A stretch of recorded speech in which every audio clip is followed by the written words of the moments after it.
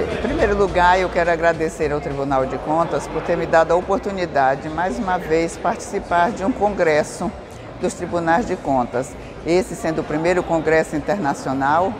é, traz um valor a mais, porque trouxe é, palestrantes de outros países que nos trouxeram grandes conhecimentos também, agregando um conhecimento a mais para cada um de nós. E também quero destacar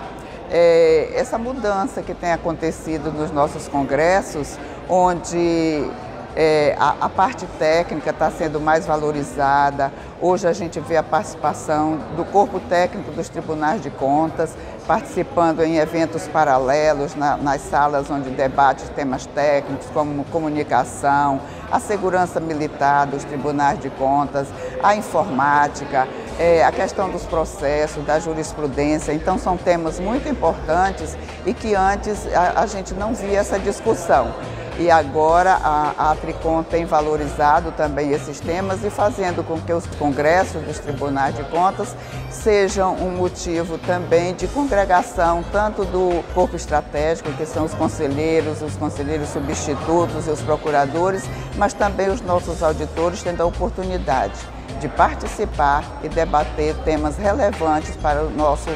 dia a dia.